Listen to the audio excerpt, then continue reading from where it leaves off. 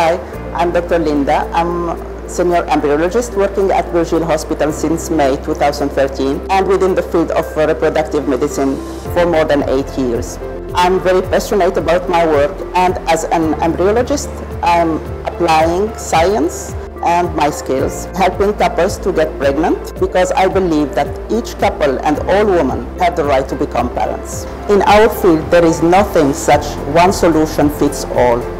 We believe that each person and couple have different needs and as embryologists we strive to ensure to provide the best chances to get a healthy baby to all patients coming to us. We choose the best of the best very carefully in the lab, from the media to equipment and material. At the same time we are following strictly the HAAD regulations as well as international ethics and laboratory guidelines for good practice established by WHO and ESHRE. We are aware that an IVF unit is rated by its pregnancy rate.